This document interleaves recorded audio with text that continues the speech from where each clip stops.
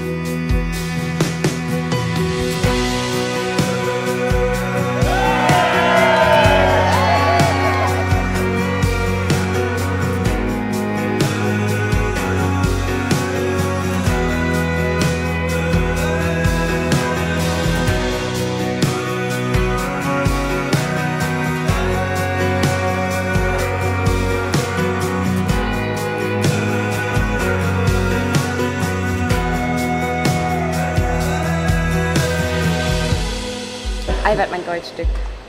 Du bist der wundervollste Mann an meiner Seite, den ich mir je vorstellen könnte. Und mein Herz macht tausend Luftsprünge, weil ich dich zusammen mit Jona und Pepe spielen sehe. Euch zu haben ist das schönste Geschenk, das mir mein Leben machen konnte. Solange ihr an meiner Seite seid, ist alles gut. Ich danke dir für war schöne Jahre. Ich liebe dich.